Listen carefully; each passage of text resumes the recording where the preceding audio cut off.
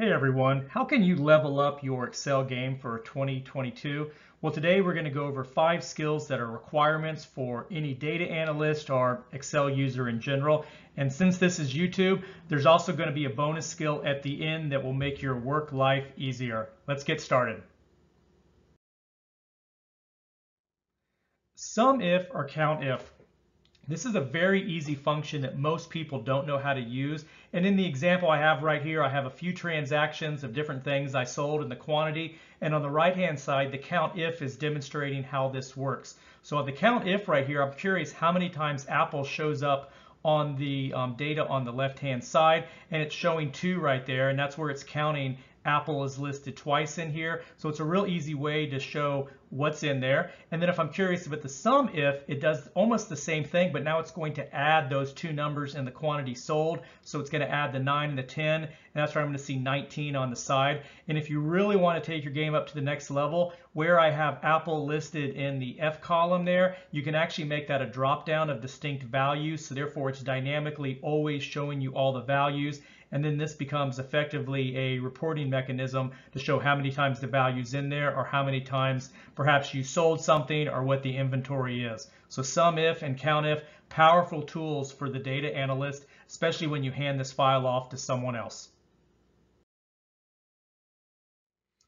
Number four, if error. So this is a way that, you know, errors are very common in spreadsheets and it doesn't necessarily mean that you made a mistake, but perhaps maybe a value in one table is expecting a value in another one, which legitimately is not there. But there's nothing worse than seeing all these ugly error messages all throughout a spreadsheet. So if error allows you to have a better presentation letter by actually dealing with that error and present up some language of letting someone understand why they see an error there. When people see these pound and these error messages, all it tells them is that this is a sloppy spreadsheet, and therefore they really lose confidence in it. By using the if error function, it allows you now to assign values that let people understand that what they should do when they see that or how that what that error means to them. So definitely use if error for a when you want to uh, have a professional spreadsheet. Number three, we, we love them and hate them, but you can't get away from pivot tables. Anyone that wants to do data analytics in Excel, you have to become proficient in pivot tables. And for people that don't use it very often, simply it's going to have a large data set like this with dates, invoices, and amounts, and what how I want to present them to someone. You wouldn't want to give a list like this to your vice president and let them figure out how well you did that year or for several years. Instead, pivot tables allow you to start summarizing data like here. I broke it down by month and then put the different values in which year it is above. So really kind of learn how to play with all the different elements within pivot tables because it can be a powerful tool that will allow you to summarize data that helps your I guess directors, vice presidents know what's going on in your business.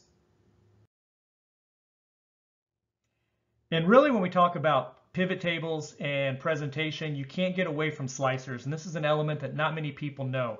Pivot tables right now offer the ability to filter data, but the base filters in there are very ugly and it's not always easy to see what all the values are. Or in terms, slicers effectively is a filter. Like right here, I'm showing a, a very simple pivot table where I just show the quantity sold and then the slicer is what I see on the right in the blue box. So I can pick apple, lemon, or orange, or any subset of those. And then the value in the pivot table is going to change dynamically when I change that. It's a really great way and a powerful way to turn a pivot table into effectively a tool to, for someone to easily change the values based on the inputs of what they want to see. Slicers are a critical component of that, and anyone that uses pivot tables, you got to know how to use slicers as well. Finally, number one, conditional formatting.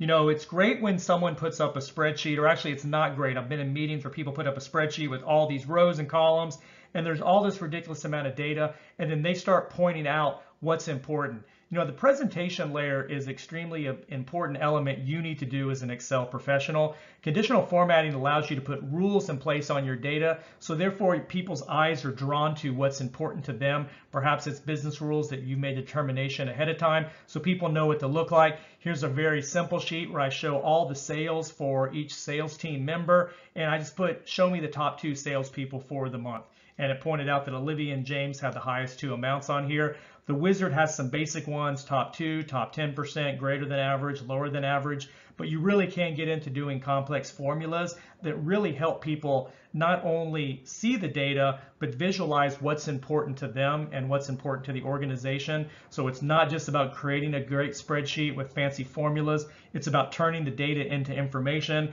and conditional formatting is something that will help you get there.